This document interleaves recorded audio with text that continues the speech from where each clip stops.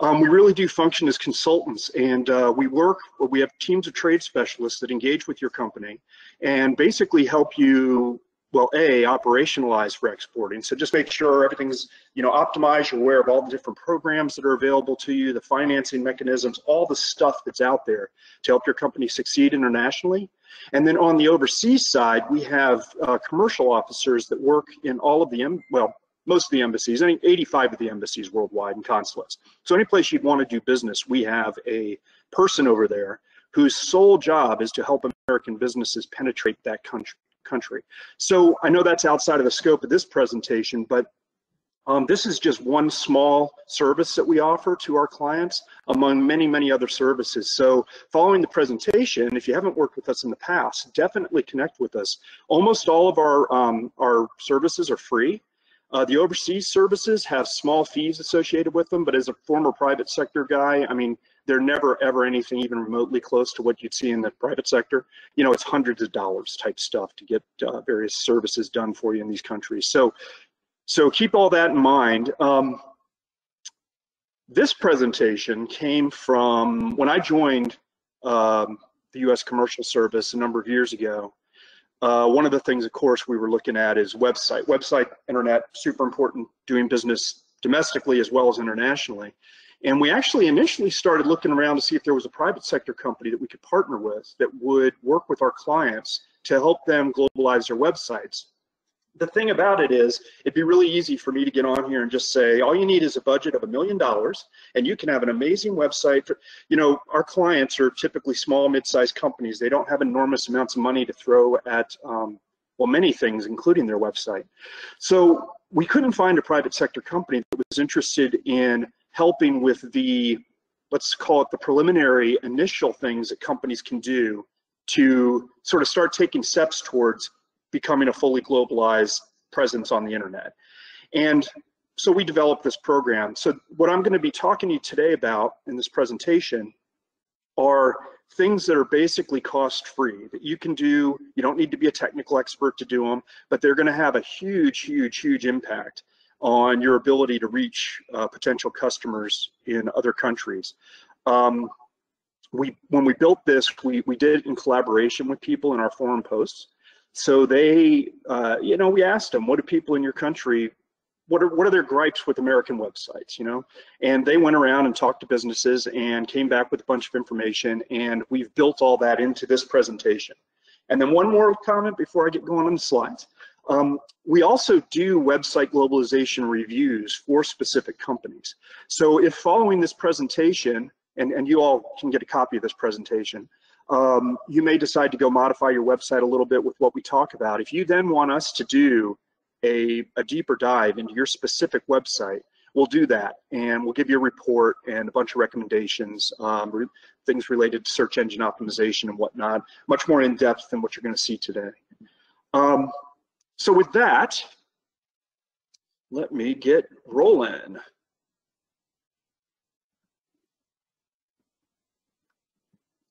With me, the slides aren't changing. There we go. Okay. All right, so um, website globalization is kind of a, a big umbrella term. Uh, that, that basically, like says on the slide, it, it relates to comprehensive strategy that's going to fuse all these globalization best practices with your specific company. Um, typically, companies go through a phased approach. So most of what we're going to be talking about today is that first bullet point there, the simple enhancements. And again, uh, some of this stuff, as I'm going through it, it may seem almost uh, silly and trivial, but this is all based on actual feedback we've gotten from companies overseas. So even though it's very, very simple, we've, we've realized that it makes an enormous difference for you um, when, when foreign visitors come to your website. So that's mainly what we're gonna be talking about today. And then we're gonna talk a little bit about um, internationalization, which is essentially making sure your website is globally neutral so it doesn't really, it doesn't offend anybody uh, worldwide.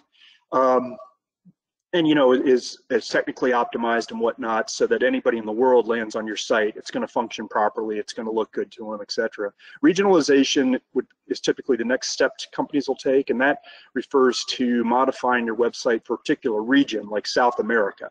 Not a particular country which is what localization is um, like mexico for example right? So we'll, we'll touch on those uh, three. Of course we'll talk about translating your website which for obvious reasons is a really big deal when you're talking about website globalization. Um, I'm going to talk a little bit about how you can proactively promote your website in other countries, and then we'll talk a bit about international e-commerce. So, simple enhancements. Now this, when I mention some of these changes are gonna sound almost silly, uh, this is one of them, but this makes a giant difference the feedback we got from companies from every region in the world was that American companies have a really bad reputation around exporting. Um, and, and, you know, you guys may have seen the statistics.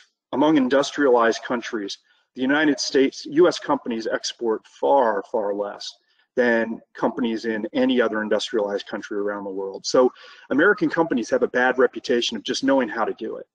And what a lot of the companies overseas said to us was, look, you know, even if a company in the US has what we're looking for, the last thing we want to try to do is teach them how to export to us. So the point being that it's it's really important that right on your website, right on your homepage, you make it very obvious that you're open for international business. So on this uh, slide here, there's an example of that. So White Labs has a very obvious, almost impossible to miss uh, link that says international inquiries. Well, anybody that lands on this website will immediately know that they are, in fact, interested in international business. And although, you know, having a link like that on some website doesn't necessarily mean the company's competent at exporting, it's at least an indication that the company's interested. More than likely, why would they have that on there if they didn't even know how to export something? So, bottom line is, make sure that you have something that's really obvious on your homepage that uh, that foreign visitors are going to notice so that they know you're open for international business because that really was one of the most consistent pieces of feedback we got. Us companies that don't make that obvious uh, they'll often just move on and find a company that does appear to be interested in exporting. So when you do that you're going to want that link to you know connect to probably some sort of a contact us uh, page. And there's a couple of best practices around this that you want to put into practice. One is, you know, a lot of companies out there will use some sort of catch-all info at company.com. It's much better to break out international in some ways. So on this slide, it shows international sales and then have somebody's name, you know, like Tony at company.com it just makes it more personal, and that's much more important internationally in many countries. Uh, in the U.S., you know, you probably just get away with info at company.com, but for international reasons, uh, it's it's good to have it broken out. It serves a couple of purposes. One, again, obviously you're interested in international sales. Why would you even have that there if you weren't? Uh, and it appears that there's somebody who's actually responsible for international sales at your company. Um, so it's a really good idea to do that. And of course, you know, that's a it take a webmaster all of two minutes to put that onto your site. Uh, better yet, the best thing to do is actually create a separate contact us page for international inquiries. And I'm going to show you an example of one of those in just a second. But that really shows, you know, A, that you're interested in international business. It also gives you the ability to collect a little bit more information because domestic customers, you probably don't need a whole lot of info from them to feel comfortable reaching back out and getting in touch with them. An international customer, you might want a little more information. Uh, so anyway, I'll show you an example of that. Uh, and, and that's really best practice. Uh, you want to show your address anywhere on your website, including on your contact us page, the same way you would as uh, you'd put it on an envelope, except you don't want to abbreviate anything because people overseas aren't going to know what GA means necessarily. And you also want to make sure you include USA in your address. So contrary to a lot of what we all see in the news nowadays, um, normal people, business people in other countries are very, very interested in US products. Uh, we rightfully have a reputation for having the highest quality stuff in the world. Uh, other people in other countries, they want our stuff. So they will be actively searching for companies that are in the United States because that's who they want to do business with. And if you don't have USA in your address and they come to your website, they won't inherently know that uh, that you're an American company. Um, you know, most websites on the internet are in English, so include that. It's such a simple thing to add, and it again came from a lot of feedback that we've gotten from companies overseas that it makes a big difference. And here's another sort of interesting little story specific to us here in Georgia. We actually had a situation where uh, we started hearing that uh, foreign buyers were finding Georgia companies and they were just moving on uh, because and the feedback that our people overseas were getting was, well, but I'm not interested in products from Georgia. I'm interested in products from the USA because Georgia is a, a country and probably not a country that you'd be buying a lot of things from.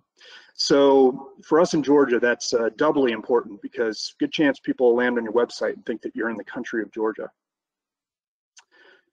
You want to provide direct phone numbers, toll free often doesn't work overseas. And just another, since it's so easy to do, uh, thing to, to, to include on your site is add that plus one. Almost everybody in the world knows plus one is for the US, but uh, we had our folks in Scandinavia specifically sort of poked back at us and they said, well, what's Sweden's country code? And of course I had no idea. And they said, so, you know, it's just, it's culturally insensitive to just assume that everybody knows the American country code, um, even though they do, because it's plus one. But uh, but include it. It just makes your company look that much more culturally sensitive, and uh, it's just one more little marketing thing that may encourage a company to reach out to you.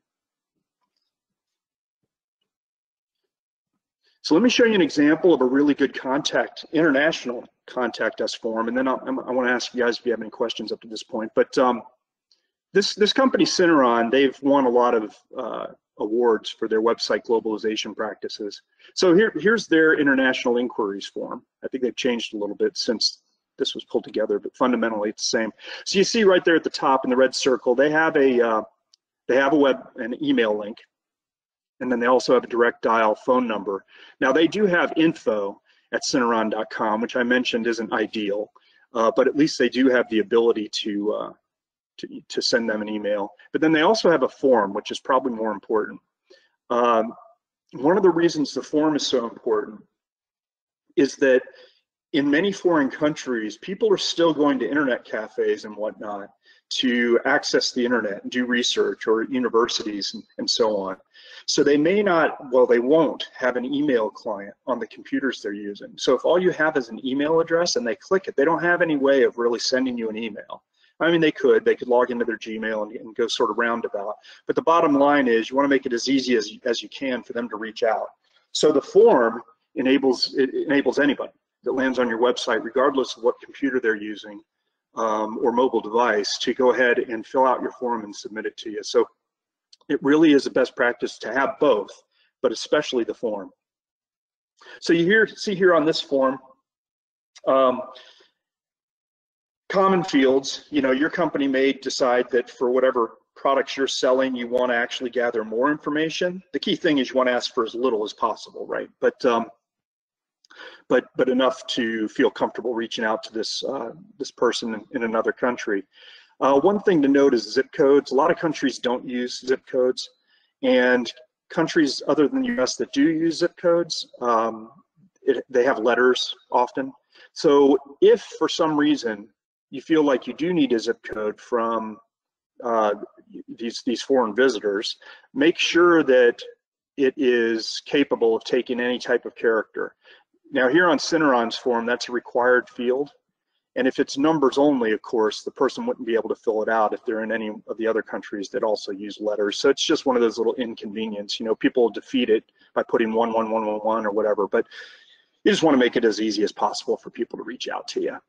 Um, the other interesting little thing that came up, uh, which is minor but can make a difference, uh, is changing on your international inquiries form, change the text submit to send. In a lot of other countries, apparently, when they translate the word submit into their language, it has a legal connotation, sort of like there's some sort of a commitment associated with submit.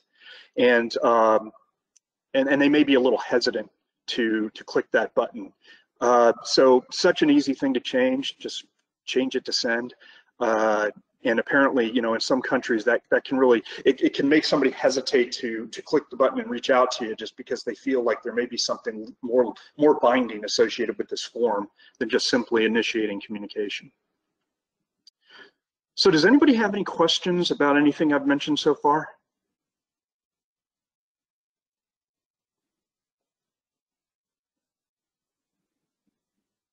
Okay. You guys can still hear me, right? Yes, we can. Yes. Okay, good. That happened to me before. I was went 10 minutes into a presentation, I had been cut off.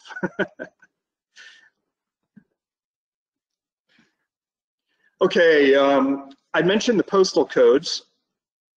In general, you want to allow for longer lines. Essentially, if you are going to ask for information, uh, addresses or whatever, make sure that the, the, the, lines are long enough so they can actually fill them in. I mean, I'm, I'm sure you all have seen sometimes in these other countries, uh, names and whatnot can be a lot bigger than names in the US, like that example, Maria, Maria Teresa Garcia Ramirez de Arroyo.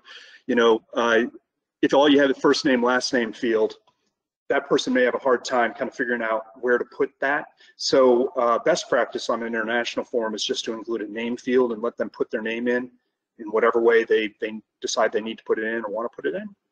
Um, you need to allow for any number of digits and phone numbers. That's important to note because a lot of the, uh, the tools that you use to build websites are going to have a phone number field, but it's going to have masking on it already that's typically, uh, if you just use the field they have, it's going to be for US phone numbers. So it's easy to change that, but you just need to make sure you do so that you don't end up with a phone number field that uh, only allows US phone numbers to be input.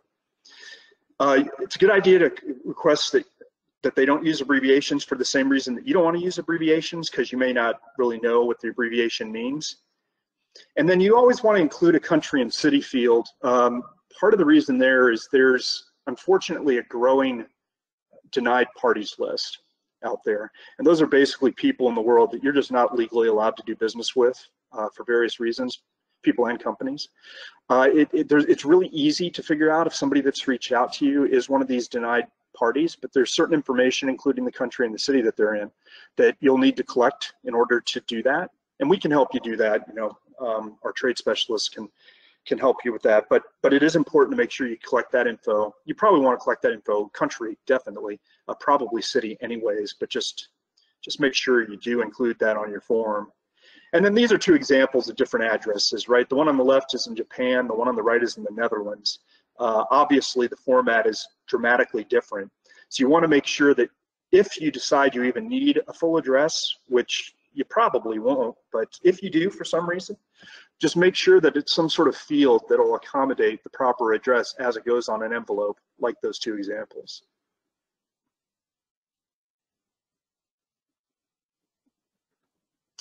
Okay, so before I talk to you guys a little bit about translation, do you guys have any questions about any of that stuff I just mentioned? It's pretty straightforward. And like I said at the beginning, I know it, it seems, it almost, some of them are so simple, it almost seems silly, but it will really make a difference.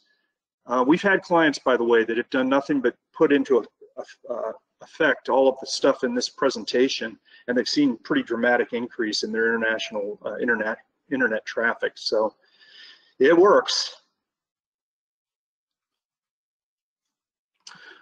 All right, so let's talk about translation a little bit. So this is usually pretty good news for our clients. Uh, you do not need to translate your website. Often you know, companies coming into this website globalization service believe that they often come in thinking that's the number one thing they need to do is translate their website, and it, it really isn't. Uh, there is, fortunately, the English is still the the, the global language of business. Uh, nobody's surprised to see an English website on the internet, uh, particularly a U.S. English website. So translation is really viewed. It's it's certainly an incredibly good thing to do assuming you have the resources and can do it right and all that. But it really isn't necessary. It doesn't hurt you to have an English only website. and a lot of the machine translators, which I'm going to talk about a little more in a second, you know, they're getting better and better. They're built into the browsers now. Um, it's pretty easy for a foreign visitor to translate your website proactively using one of those machine translators. And that's that's often a better choice anyways for a couple of the reasons I'm going to give you in a minute. But the bottom line is, unless you're ready to actually translate your website professionally, it's better just to leave it in English. Um, uh, you know, for one thing, so we have clients that have had, you know, they've got their kid their kid is taking Spanish in high school or something, and they've, as a project, they let the, their child translate their their company's website. This is a really bad idea. It's gonna, no matter how good that person is at Spanish, uh, there's it's gonna be fraught with uh, with errors and and weird, probably weird sayings and things.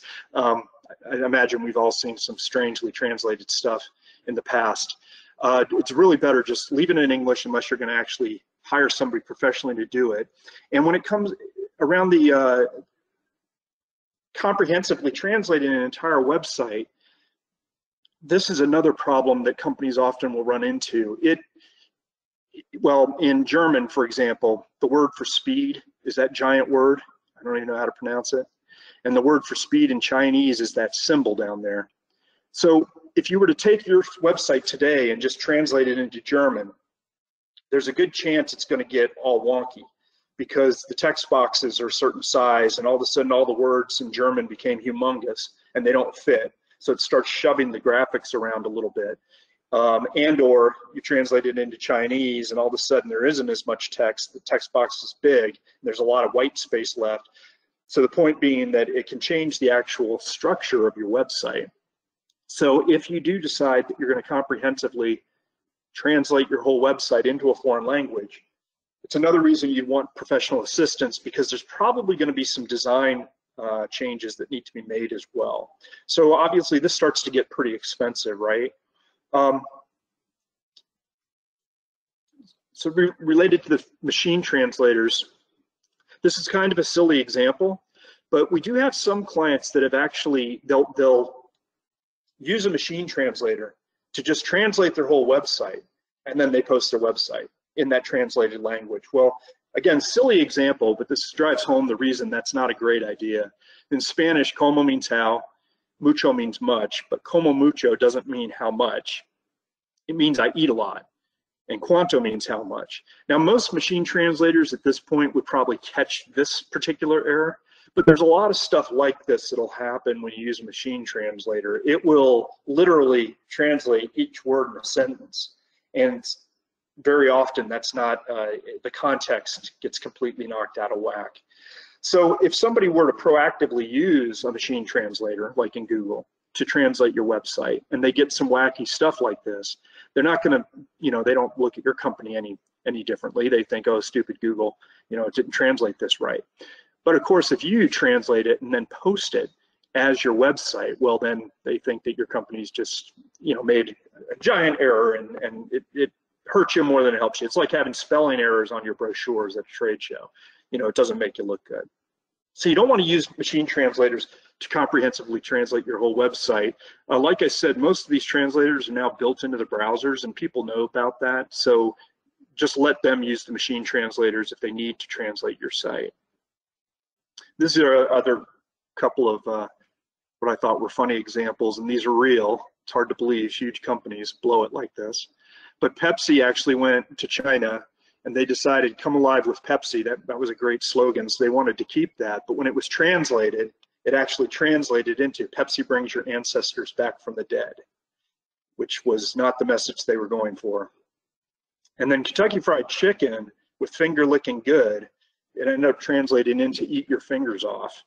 Um, so both humongous swings and misses uh, even by these giant companies. It's like I said, hard to believe. I mean, that they didn't run this past somebody and say, you know, does this look like a good idea to you? But they did it. So anyway, it's another reason, you know, translation's tricky, especially in difficult language, languages like Asian languages. Um, definitely want to use professionals if you decide you're going to go there. Any questions about any of that stuff? George, I have a question. If a company yeah. is interested in having their website translated professionally, is that a service that U.S. Commercial Service U.S. Commercial Service offers, or do you refer them to someone? we, re, we would refer them to someone. And often what we'll do is refer them, we'll go through our post in whatever um, target country they're going for, right? And uh, post, because it often makes more sense to get some local web company to do the translation, although there's plenty of companies in the US. Bottom line is we'll refer them to somebody that can help them with that. Any other questions?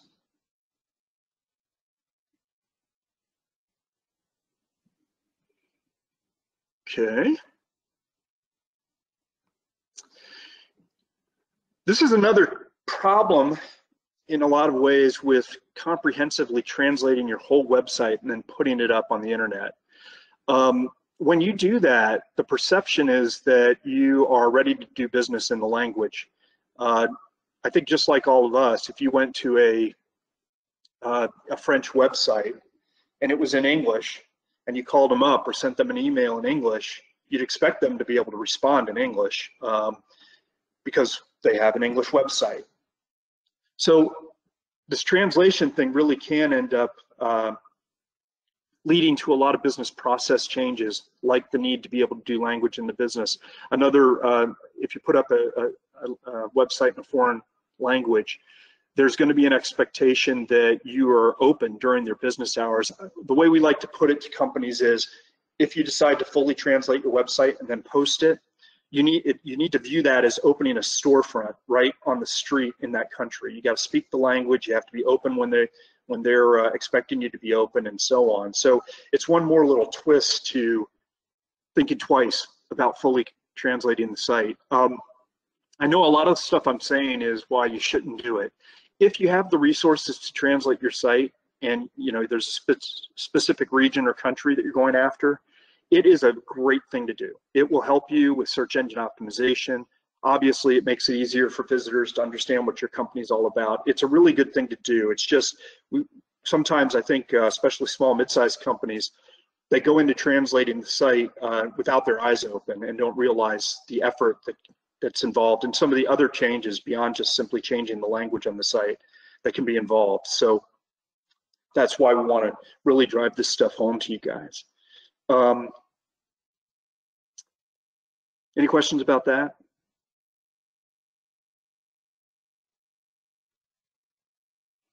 Okay.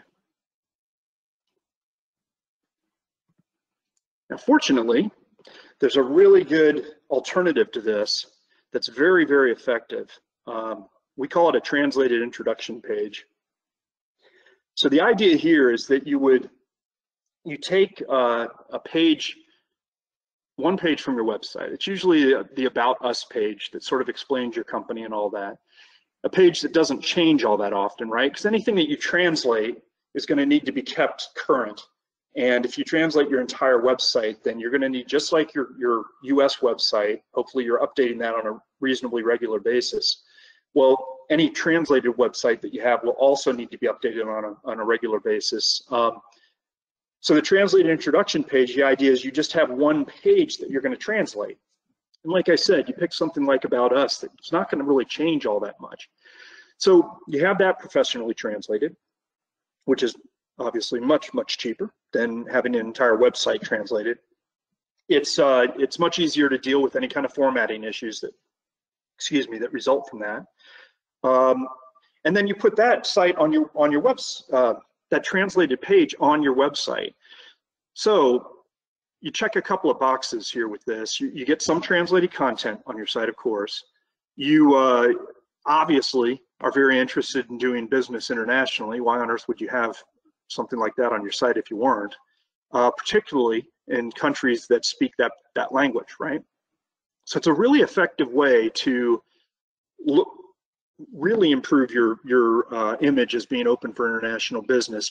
Potentially, from a search engine perspective, draw in more visitors because you do have some translated content on your page, uh, and just generally look much more competent uh, at doing business internationally. You know, like a like an international business seeking business outside of the U.S. And on this example here on the left, so that would be your translated introduction page, and that red button in the middle might say something like, you know, click here to return to our main website or something, right? And then when they click there, they go back to your English website. So they're not under the impression that they can just call you up and speak the language uh, because you know you just have this one page that's translated. Uh, so this is really can be a very effective, very inexpensive way to, to get some really good translated content on your site, uh, you know, without breaking the bank. Any questions about that?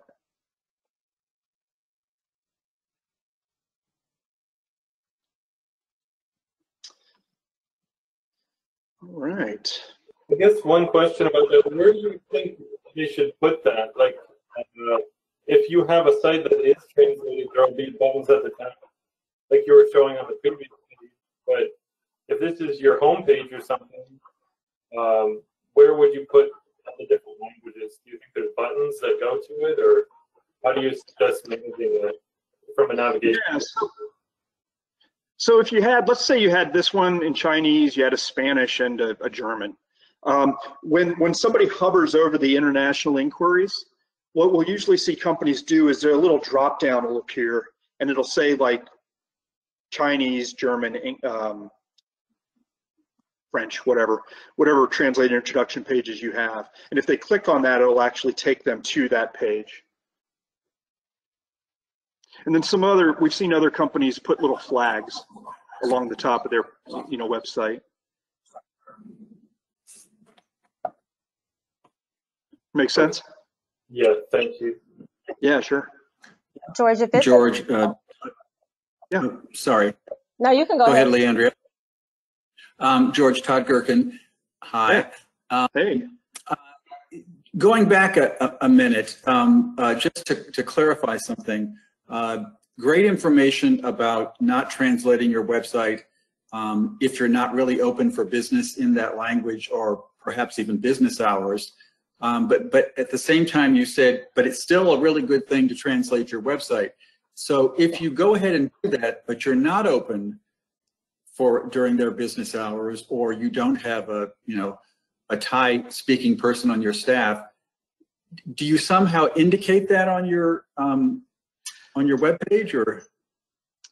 yeah, I mean, the, the business hours thing you could probably get away with easier than not having somebody on staff that speaks the language.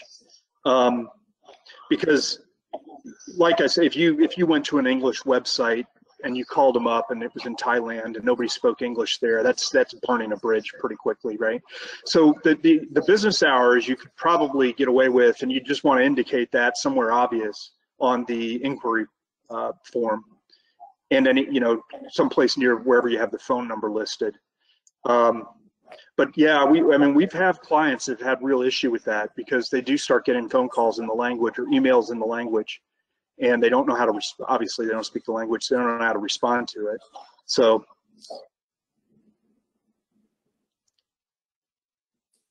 Okay.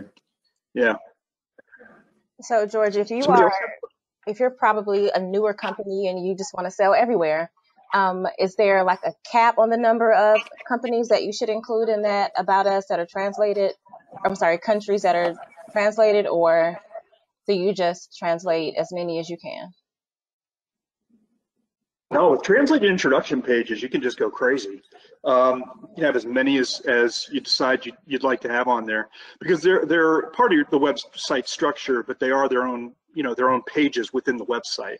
So it really doesn't matter. It doesn't hurt anything to have a whole bunch of them. And it's it is a nice marketing. It's a very nice marketing move because, like I said, if you use the about us, then the company will be able to go and really learn about your company. Been in business for the past 30 years, you know, blah blah blah, all the great stuff about your company and why they should reach out and and do business with you. It it really personalizes it um, very well uh, for somebody in another country if it's professionally translated into their language, right?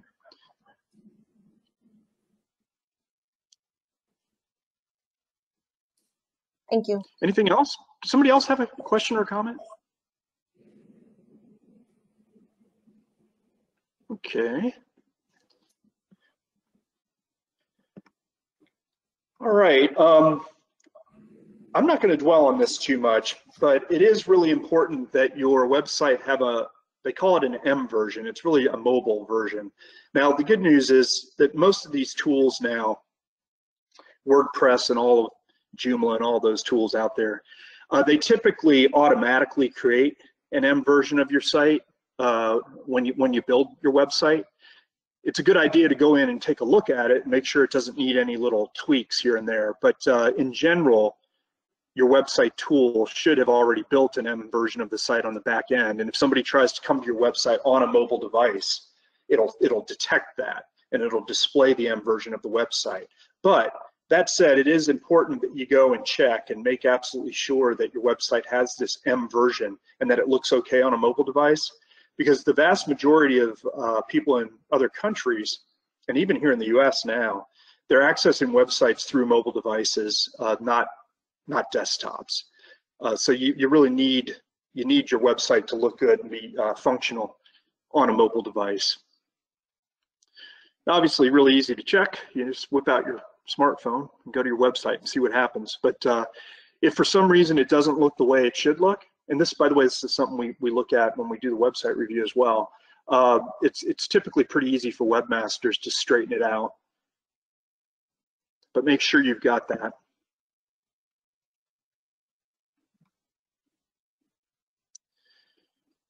Okay, so before I talk about international promotion of your website, um, any questions at all about any of this up to this point?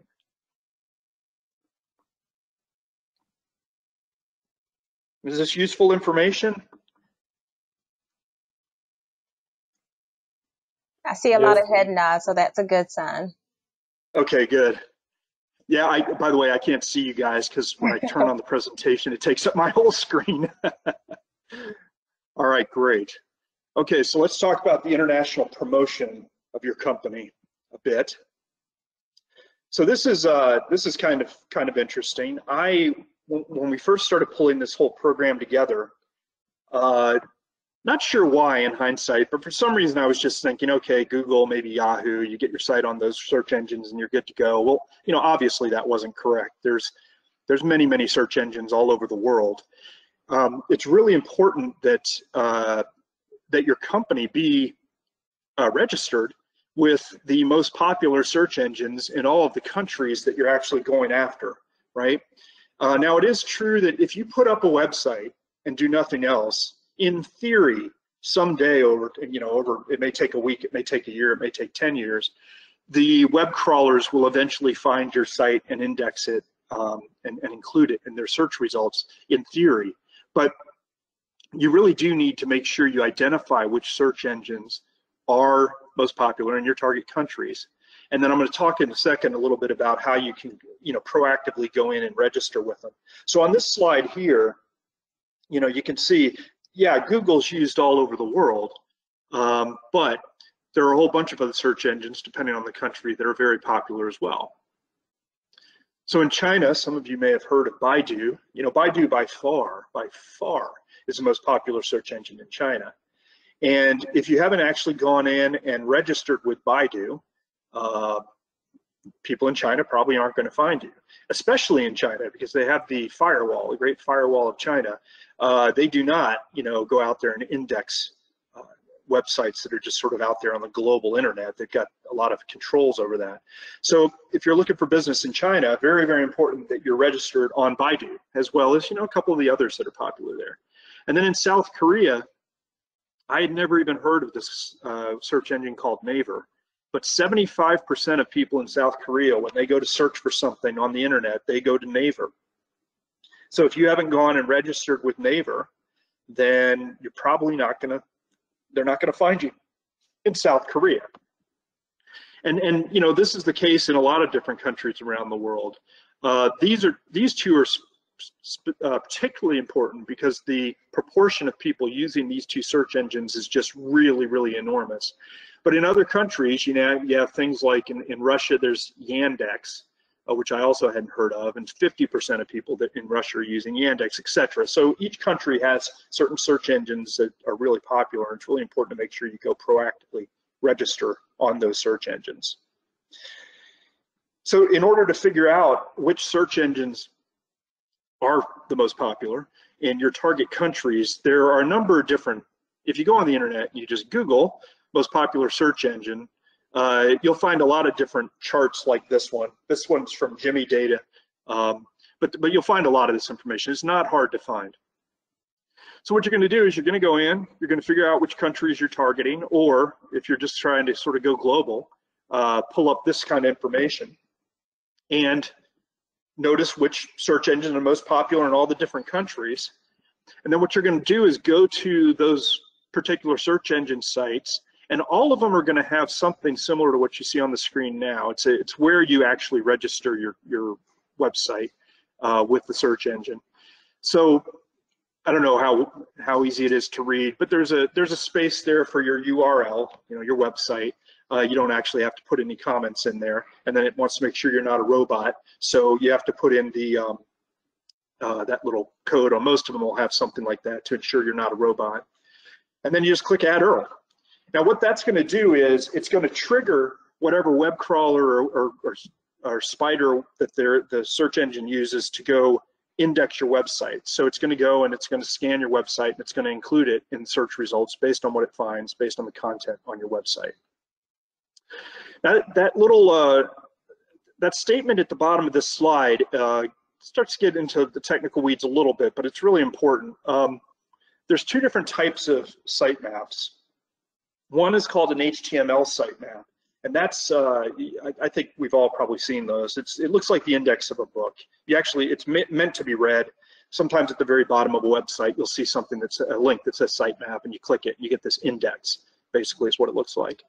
Well, for these web crawlers, what you wanna do is make sure you, um, you wanna actually register your XML sitemap. Now the XML sitemap is a separate sitemap that's um, not designed to be read. It's not designed to be looked at by by by a person. It, it looks like computer code, and uh, it's optimized for the search engines to go through and to actually scan it and then index your website within search engine. So the syntax uh, almost almost always what you see below uh, that company.com forward slash sitemap.xml.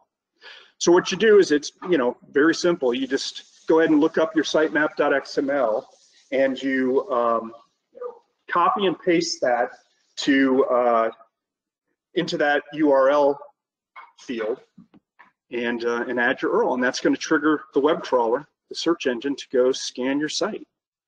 Any questions about that?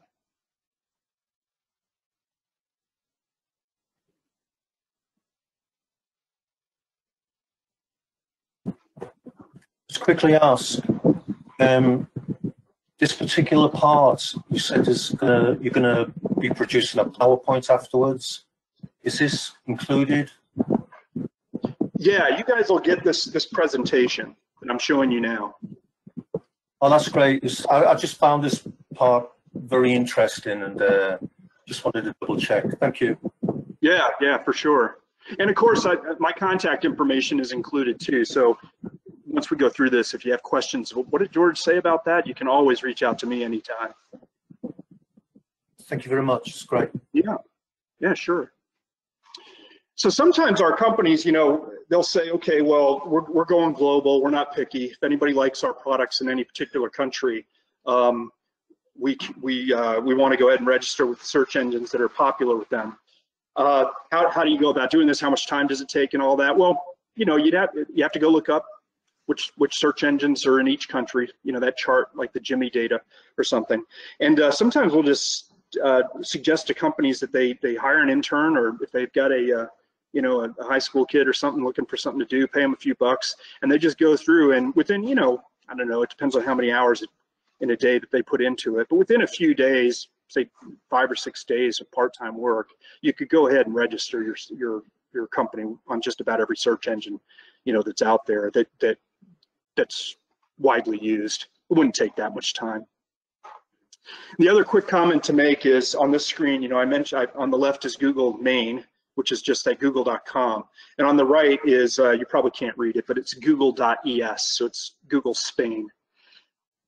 Those, you do want to go into each one of the different Google uh, search engine registration mechanisms as, as you see on this screen and register your site in each one. Uh, the main reason is that there's different server farms around the world. So the main Google site that, uh, that that's over here, you know, we're tapping into for the US and probably Canada and whatnot.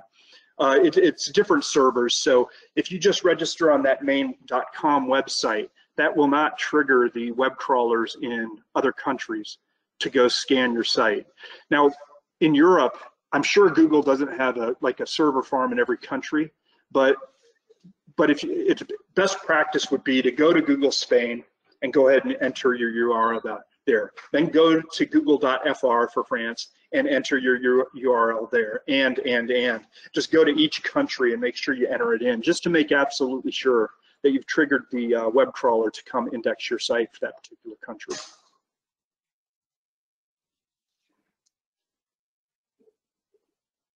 Make sense?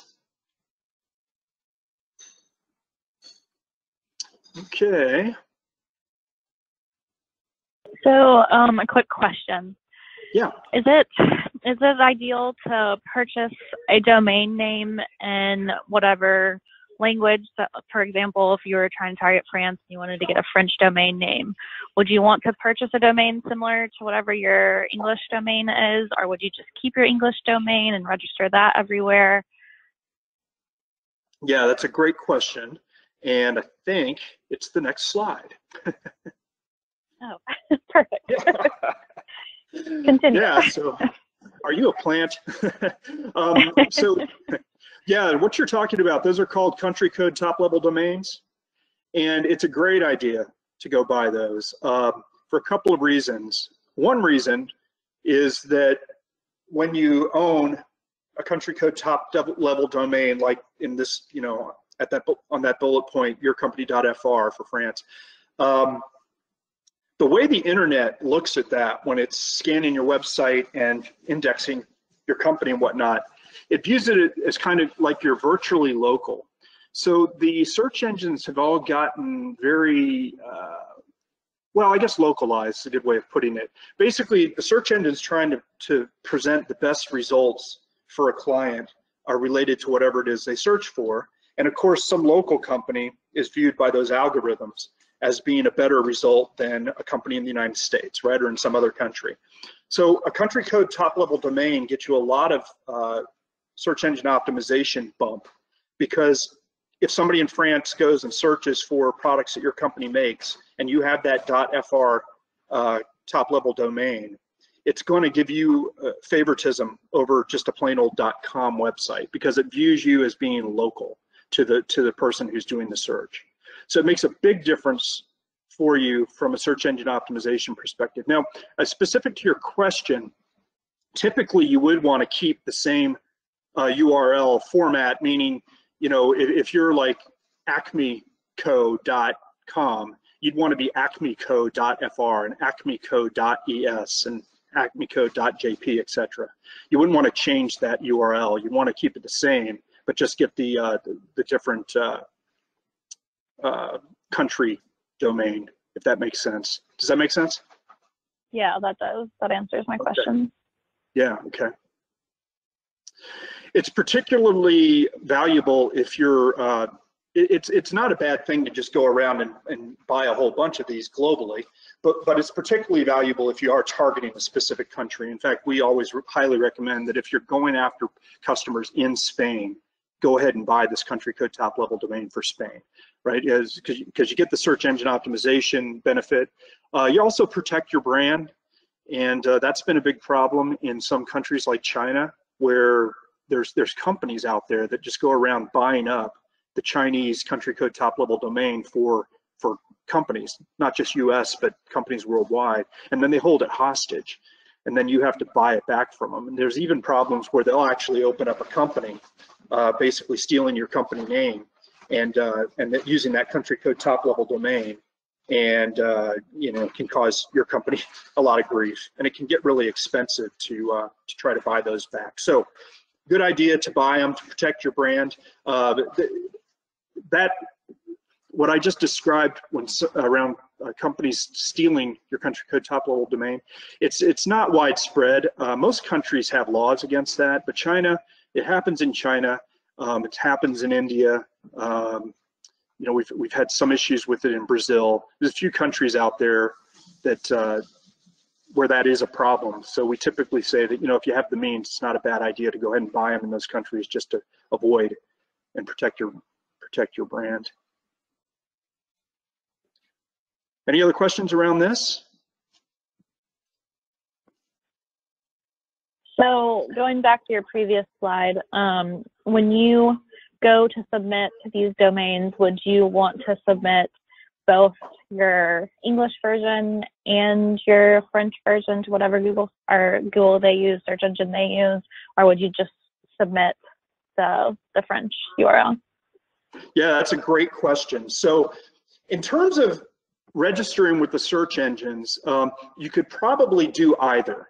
Now, I don't, you know, I, I, try to talk to my friends that are still in the IT world about this stuff as often as I can because these algorithms are always changing, right? And they're changing what what benefits a company in the in the rankings and all that all the time. Um, let's say that you did put your country code top level domain in there. That that page, that translated introduction page, let's say, is going to be uh, part of your web's architecture, and the XML sitemap is is comprehensive. It includes every single page in your entire website. So the search engine would still scan your entire website. It, the entry point would just be that country code top level domain page that you registered. So if you didn't put that in and you put in your .com website, it will still go scan your whole website and see your country code top level domain page and, and see that localization, right? So I don't know of any benefit using one over the other.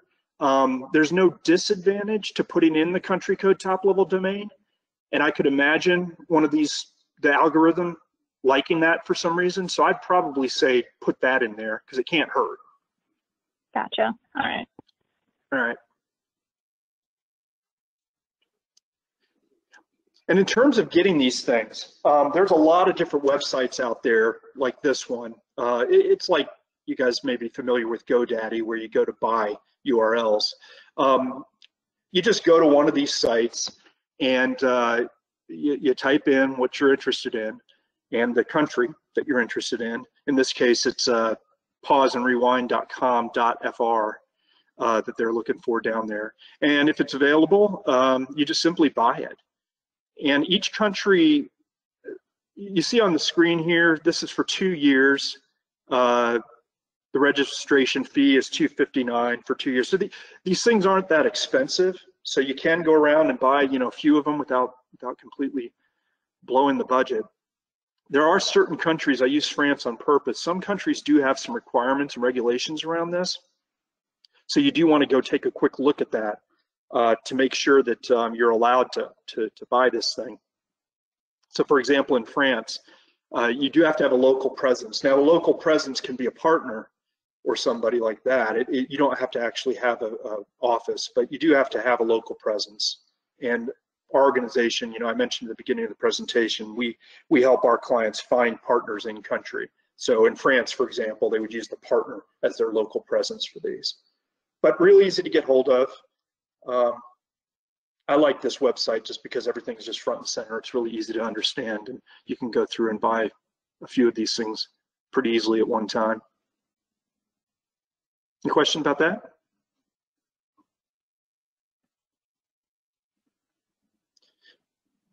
So if and when you decide to start going to do this and you find out that it's not available, which means somebody else bought it, uh, one of the things you guys can do is come to us and we can reach out to our people in at Post and they can help research what's going on. Uh, and, and sometimes you know, getting the embassy after people, sometimes it can make them sort of play nice and, and give it back. Uh, and like I said, in a lot of countries, they're not allowed to have it in the first place, so it's usually pretty easy to resolve that. Hopefully you don't run into it, but if you do, just reach out to us and we can help you straighten that out.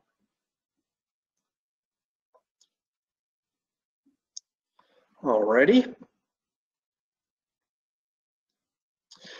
So another uh, really important thing, uh, arguably, I think one of the most important things that these algorithms are looking at associated with your, your web presence are these things called link backs. It's really simple. A link back is just a link to your website from some other website.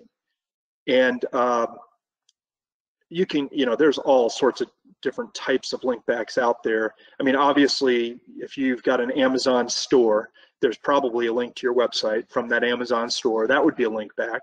But the algorithms have gotten really smart. So they, they're, some link backs are, are viewed as much more valuable and, than others. So a link back from your Amazon store, it's not going to give you a whole lot of search engine optimization bump because of that. Because I mean, you set up the Amazon store, you're linking back to yourself in a lot of ways, etc.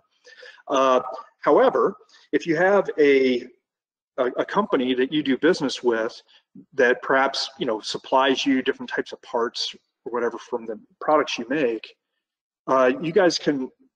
It's a really valuable link back to have links from those types of companies to your website. So what we encourage a lot of our clients to do is figure out which kind of complementary companies are out there and contact them and see if you guys, if they're willing to link to your site, if you link to their site, and that kind of thing. Um, another really valuable link back is any kind of article or white paper that you manage to get uh, published somewhere. And those usually include some a link to your site or your company. Uh, that's viewed as a really valuable link back. So point is that the more link backs, excuse me, the more link backs you can get, the better, uh, especially those high quality link backs. Um, we offer a service called a FUSE listing, which stands for Featured US Exporters, which the, the most valuable part of it is this .gov link back. So, you know, I just mentioned that the Amazon link back may not be as valuable to the algorithm as a link back from one of your uh, partner companies.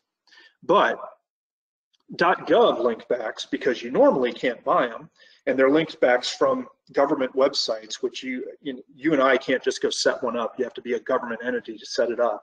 The algorithms view those as by far, uh, by, by a mile, the most valuable type of link back because if a government site is linking to your company for some reason, that's a that's a pretty strong indication that whatever that search term was, your company must be an authority on that particular search term because why on earth would a government site be linking to your company uh, if you weren't?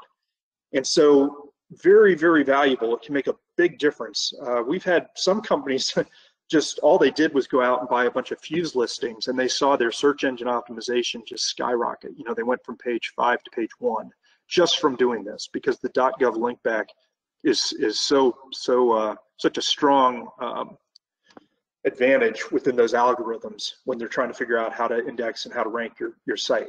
So these are you just go to that website at the bottom of the slide there and you can buy these things. Uh, they're they're pretty inexpensive. Uh, I think $250. You get five of them. The actual listing. So what it actually is, it's a it's a listing that describes your company. Uh, that's that they post on the consulate and embassy websites in whatever country you bought the link back for or the fuse listing for. So uh, the, the actual listing is not all that impressive. It's kind of buried on the website. It's not all that easy to find. So we uh, most of our clients don't get a whole lot of traffic from the listing itself, but the real value of it is that link back that you get because uh, that'll help you in the US and internationally. This isn't just an international thing. A .gov link back in general is going to help your search engine optimization enormously. So any questions about that? Does that make sense to you guys? You following? Uh, George, uh, Todd Girk again. Um, yeah. I, if you would, give us a little bit more specific um, understanding of how that link back works. For example, if I go to a UPS website, um, uh, how is it? Do I have to click on something in order for that link back to work, or does it is it just I click on some subject matter or something on the UPS website and it brings up my website or? Yeah, that the link back is just a, if you click somewhere, it will link to your company's website. So, um, and you guys have seen this, you, are reading an article in a magazine about some company and there's some cl clickable thing. And if you click it, you end up on their website. That's a link back. So it is just a, uh, and, and what happens is these algorithms, the, the web crawlers, when they go index these websites, like the embassy website, they're going to see these link backs to your company. And they, you know, th- that becomes a factor in your company's ranking when people search for trucks, if your company sells trucks, right? And a government site is linking to your, back to your site uh, related to truck search. So the algorithms have this built in so that they use all that as a factor to determine where to rank your company in the listings when somebody searches for trucks. Does that make sense? Yes. Okay. Any other questions about these? It's a really good thing to do. Um, if you didn't do anything else, uh, I'd say you'd want to go do these because they're just super easy. So, um, by, by the way, one other thing I wanted to mention about linkbacks. So .gov are by far the best. Uh, next in line are .edu. So, and it's the same kind of logic. You, you and I can't go buy a .edu education um, URL. Only registered licensed educational institutions can have .edu as a URL. So the theory that the algorithms use, if Google and Yahoo and all those guys, is that uh, if a .edu website is linking back to your company, then you must be an authority on whatever the search term topic, the related search term topic topic was. So the same theory, not given quite as much weight as a .gov link back, but those those are sort of like second, and then all the rest are sort of even .com, .net, you know, .org, all that other stuff. So I mentioned that because if you do, you know, if you if you produce any kind of white paper article or anything like that, make sure you submit it to all sorts of universities and whatnot. You you never know. One of them might pick it up and decide to post it on their site, and that can really help you out. Can I just quickly ask you, Yeah. does does um you know based on the URLs, does an email address carry the same kind of weight on um for link backing as what basic URL would? So if um my email address is you know Gary Yachts so and so because the URL is part of that and it's listed on the website, does that carry the same kind kind of weight? Yeah, it's interesting. I asked my my buddies that exact question, and they said it does not. That the algorithms look for an at symbol, um, and if it sees it, it, it, it interprets that as being a web a web uh, an email address, and it does not give it um, weight. Right. right. Yeah. So it has to be the full URL for the company. I appreciate that. I, I was just trying to think ahead to Yeah. try and try to do something with this information. Uh, I, I like what I like what where this is leading. Um, you know, you've got to create your own traffic sometimes. You know. Um, Yeah. I, just wanted to get that clear in my mind for taking the conversation forward internally. You know, so uh, save us some time not to focus too much on email addresses, for example. You know. Yeah. Yeah. Thank you. Yeah, sure. Sure thing. One other quick comment related to, related to linkbacks. This isn't as common as it used to be, but there are companies out there that will uh, tell you that if you pay them a bunch of money, they're going to link back to your website a thousand times from a thousand different URLs and all of that. The algorithms have gotten really smart, so if you you don't want to try to trick them that way. Um, you know th those types of sort of shenanigans that used to work in the past uh, don't work, and they can actually end up getting you knocked way way down by the search engines because they they sort of know what's going on. They know which companies are doing that kind of thing. So you know illegitimate link backs is probably a good way of, of putting that. If somebody contacts, there's there's some sort of link back opportunity that you hear of that doesn't seem like it's playing fair. The algorithm is going to know that, and it's going to hurt you. So don't you know don't fall for it.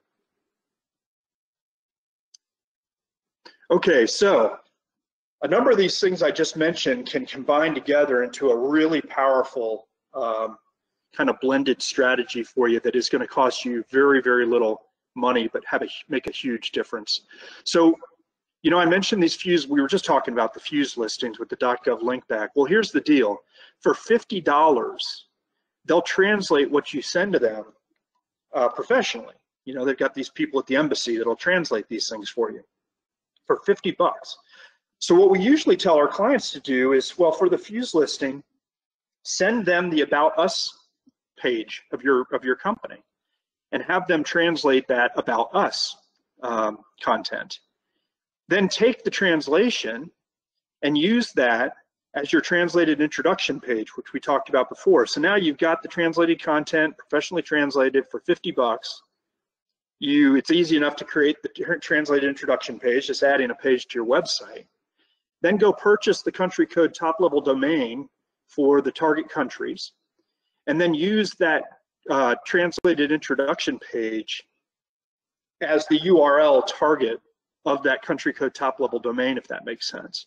So, you know, you buy the .fr, you have a translated introduction page in French.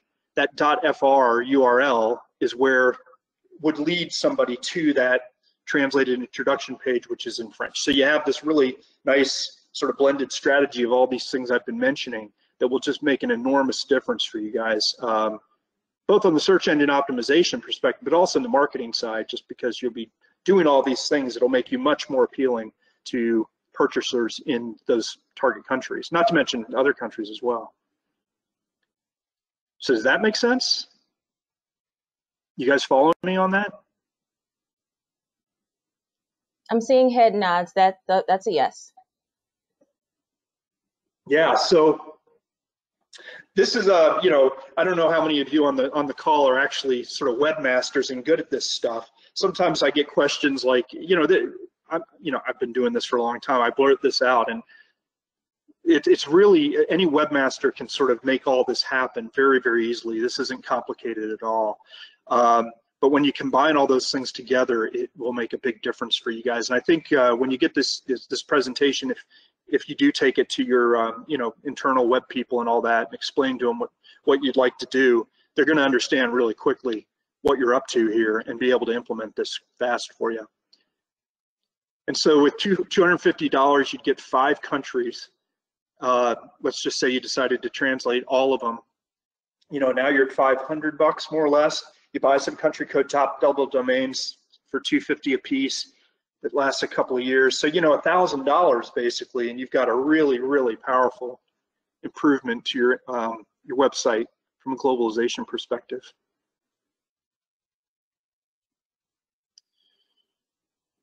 Okay.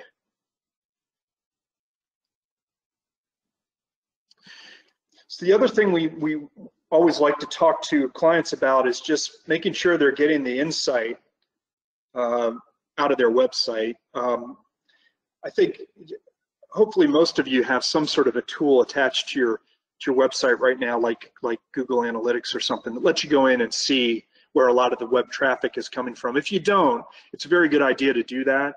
Um, if you have a webmaster and just ask them, I'm, I, I'd be surprised if you didn't have something like this already. But the bottom line is, when companies come to us and they they're they're wondering where they should go, which country should we pursue? One really good piece of marketing intelligence uh, related to that is your website. You can go in there and figure out where where's the traffic coming from from overseas. Now, sometimes it doesn't really tell you much, but sometimes it does. If it turns out that you know 20% of the visitors to your website are from India, it's pretty good it's pretty good indication that people in India are looking for whatever it is your company does. Um, and so that could be great marketing intelligence that you could bring to us, and then we could reach out to our people in India and confirm that in fact it's a good market and all that other good stuff.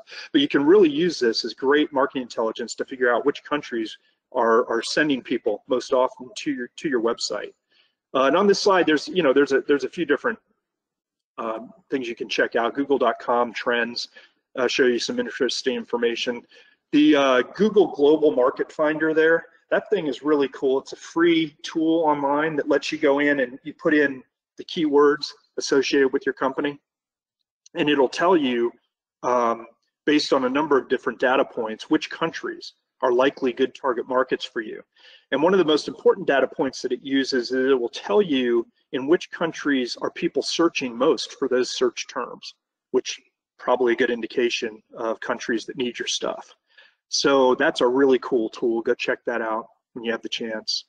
Um, and then Google Keywords, you know, that you can buy, well, there, there's a lot of stuff associated with Google Keywords, probably outside of the scope of this conversation, but you can, um, you can go pay for uh, search terms and, and, and all that through through Google in particular, and a lot of those other search engines that I mentioned in other countries have the same kinds of services. Um, we typically we typically don't advise our clients to do that until they find some sort of partner in that target country. And then that partner in the target country would be better equipped to decide whether that was going to be a helpful marketing strategy in that country, right? Because it kind of varies. Um, but it is another uh, another interesting sort of option out there to improve your web presence globally.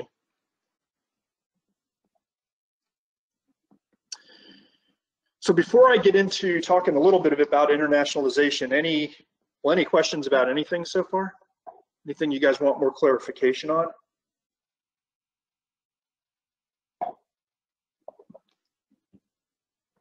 Okay. Okay, so internationalization, um, I mentioned this at the beginning, it's really just the process of taking your website and making sure that it's just culturally neutral. So if a guy in, you know, Saudi Arabia comes to your site or somebody from Brazil or somebody from France, it, it, your site is fine. It's not going to have anything on it that, that may be deemed offensive in all this. Now, the truth is, as, as the world becomes more and more globalized, uh, the risk of this has diminished. Uh, you know, 20 years ago, you could really go wrong if you use the wrong color even on your website because colors had all have meaning um, in, in different countries and and all this, but it, it's diminished just because the world has become more global. But I do have a specific example just to sort of drive home what we're talking about here. Uh, we had a client who made furniture, and on their homepage, they had a really nice desk, an executive desk, and they had uh, you know a, a, business guy sitting there with his feet up on his desk and the thing is the soles of his shoes were pointed out. And when we sent the site to the middle east and we're just asking for just quick hey you notice anything about this site that might offend somebody in your country? They immediately came back and said you can't know that showing the soles of, soles of the shoes is an enormous insult. You can't do that. You got to change that. That will just culturally not fly here. So that's an example of what internationalization is all about. It's just making sure that there's nothing on the site that's uh, going to really turn somebody off and, and cause them to uh, to not want to reach out and do business with your company. This uh, Zing site is a really good example of this. So you can see that uh, it's it's very consistent. Obviously, it's exactly the same company. It's basically the same website but it's neutral, right? They, they use shade of green, so it's not usually primary colors if they're going to get you in trouble at all. Primary colors are the colors that do that. Um, they have silhouettes of people, so there's no particular uh, particular person from a particular country or anything like that. It's just silhouettes. And the top, the top uh, on the top left, that's their main website. Um, the one in the middle is in Spanish, and then the one in the bottom is in Japanese. Um, you know, the, the structure is exactly the same. It's the same site. They translated it because I guess they were targeting people in those particular countries, but they didn't change the site. They didn't localize the site to be culturally specific to any particular region or country. So this is a really good example of what internationalization looks like. The reason companies do this is, well, one, just to be consistent globally, um, they also typically will design the site. An internationalized site is designed in a way that makes translation uh, simpler. So when I was mentioning German, you know, German is huge words and Chinese is small small symbols. Uh, these these internationalized sites are designed in a way to accommodate for that without blowing up the structure of the site. So, you know, sometimes companies, depending on what their site is, is like now, they'll take some steps to sort of further internationalize and neutralize their site for a global audience. So does that make sense to you guys, the internationalization thing? And this isn't something that all of our clients do or even necessarily need to do, but it's sort of the next step after making those simple enhancements that we've been talking about up to this point.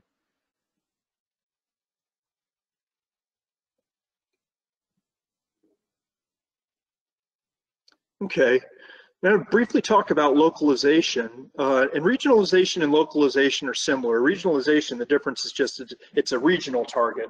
So rather than being uh, specific to a particular country, It's, it's going to be more of region like Middle East versus Saudi Arabia specifically, right? But localization really drills down to the actual specific country. Now, this gets really complicated and we do have clients come to us sometimes and say, well, we want to develop a website for Mexico. And this is kind of like the translation thing. If you have the resources to maintain the site on a regular basis and to translate it and to do everything the way you need to do it, this is a really good idea.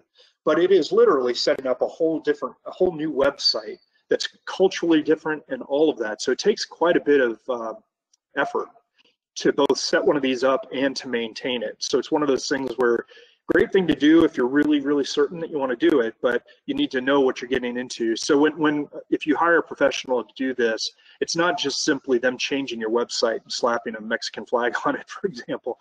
It's going to be, um, they're going to look at the, the different cultural dimensions like high context versus low context. Well, it's all the marketing stuff. I don't know, uh, you guys may have seen some of these you know Japanese websites that have like Technicolor octopuses flying across the screen, and you basically have a seizure when you're looking at the website. Well, that works in Japan, but if you set if you just took that and put it in the U.S. and translated it into English, that would not work in America, right? That is not um, a culturally neutral website. it sells great there, but not here. Same idea here. Um, you really are building a whole new website that's culturally specifically targeted at uh, the country you're going after. So you wouldn't just translate it into Spanish, you translate it into Mexican Spanish, um, all the syntax and stuff that, that that entails. And typically companies will do this after they've internationalized their site because they want to have a sort of a, a set structure for their site before they start culturally adapting it. And here's some examples of that. Cisco, you know, again, you can tell it's internationalized. It sort of looks a little bit like that Zing site, but the one on the top left is their main website, .com. The one in the middle, and I know these are overlapped, so you can't see them too well, but the one in the middle is actually their Brazilian site. So it's not just translated into Portuguese. Uh, they use Im imagery and, and all that, and they probably spend way too much money to come to the conclusion that that brown color meant something to Brazilians, who knows. But they, it's actually culturally specific to Brazil. And then the one in the bottom right, Japanese, again, same kind of thing. Uh, you, you're obviously on the same company's website, but it's not just translated. I mean, these are clearly Japanese people.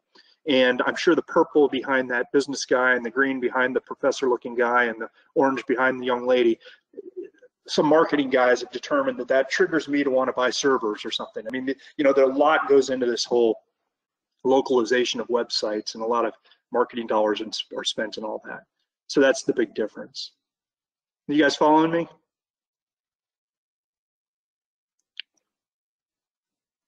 Yes, we are. Lots of head nods. All right. So at the end of the day, what we recommend uh, related to all this is you make the simple enhancements, right? They're easy, they're inexpensive. Uh, if you have, you know, a little extra money, uh, go for that that three-step blended strategy that I mentioned. But you know, that wouldn't that shouldn't be more than even a thousand bucks. probably do it for less than that. And then go from there, and then work with us to find a partner in these countries to help sell your products, right? Then once you have that partner identified, well, you can work with a partner in country to figure out your in-country digital strategy. So if you if, if once you have that partner in Mexico and you collaboratively decide, you know what, it'll be great to have, a, for our company to have a Mexican website, well, then you've got a, excuse me, a partner down there that can help you with that and make it a lot less expensive to develop and all of that because they're in country, right? Um, and they're going to, in theory, they're going to have a much better understanding of, uh, of, of what's going to work down there, how to tap into the local online marketplaces, all the stuff associated with having a localized website and a local presence on the web. Uh, but we, we usually discourage our clients from trying to do it just from the US before you actually have an in-country partner. But for one thing, you're going to want a partner down there because uh, in theory, you're going to start selling lots of stuff and not having some sort of local entity to assist in the facilitation of all those sales and whatnot, everything that entails uh, is really risky. So work with us, get the partner, and then figure out with the partner your in-country digital strategy. Make sense? Okay. So now let's just talk a little bit about international e-commerce. Fundamentally, there's, uh, from an e-commerce perspective, there's basically three different types of, well, three different types of websites out there. Uh, information delivery sites, that's pretty much, that's most websites. I mean, every website to some degree is an information delivery site. Uh, most websites stop there. They don't have some sort of online shopping cart capability and all of that. But then, you know, some do. The last bullet point, the transactional sites, something like Target, right, where you can just go online and just buy stuff, put in your credit card, it shows up at your doorstep.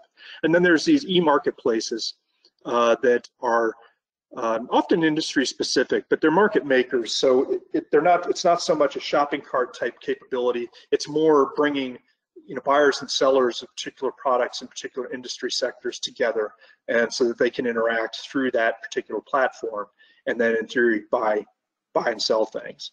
So what we've been talking about is all about the information delivery side of things, um, especially when you're talking about international. It, it can be very, very risky to try to sell sell things cross border via e-commerce. And when I'm defining e-commerce as an online sale without interacting with a human being. So the target model, right, where you just buy something and it shows up on your doorstep. There's just so many intricacies around doing business cross border that uh, doing it just through a computer without human intervention, it's just risky. You've got to make sure you're compliant with all the laws in those countries. Uh, there's many different things that, that you have to accommodate related to an, an international sale that you don't have to worry about when it's just somebody in another you know city or state here in the United States. So we, we typically, you know, there's exception to every rule. We typically say companies don't do this, don't try to do cross-border e-commerce this goes back to what I'd said before around find a partner in that country because you're going to need a partner in that country anyways, more than likely, in order to really be able to transact in a big way, uh, a meaningful way in that country.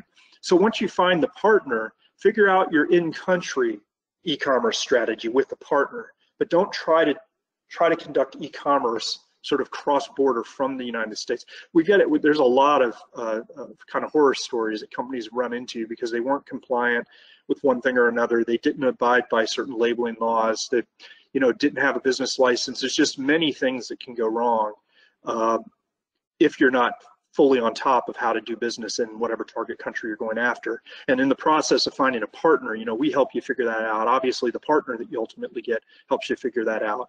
And then the e-commerce strategy uh, can be pulled together in coordination with those that, that partner. Does that make sense to you guys?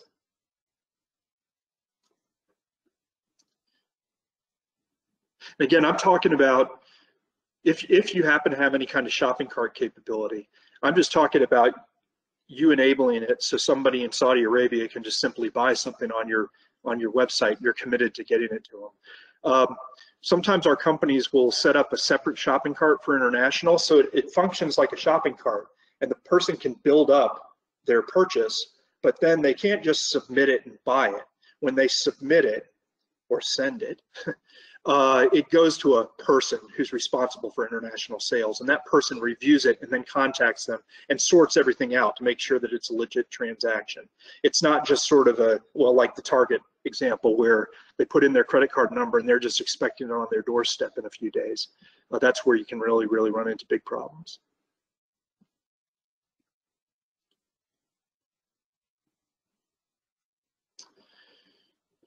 Okay, well, um, one of the last things I wanted to just mention to you is that there's there's a growing number of these e-marketplaces. Uh, we're all familiar with Amazon, and Amazon has uh, Amazon France, they have Amazon UK, there's an Amazon in lots of different countries. Um, definitely leverage these, especially again once you find that partner, and, and those partners are going to know uh, which one of these marketplaces within their particular uh, business environments is most effective and whatnot. But uh, they can be great ways to, to move product and to get your name out there. Um, they're improving all the time, right? The technology is getting better and better. Uh, it's interesting, I was just reading an article the other day about cryptocurrency is enabling a lot of people in other countries that were not able to buy things from the United States to suddenly be able to. And marketplaces are popping up to enable those people to actually purchase things because because of their new new access to cryptocurrencies and stuff. So it's really an expanding uh, domain, these marketplaces, and something you certainly want to take advantage of. But again, not you know not probably not just from the U.S. You'd want to have somebody in in whatever country you're going after uh, to sort of facilitate the process.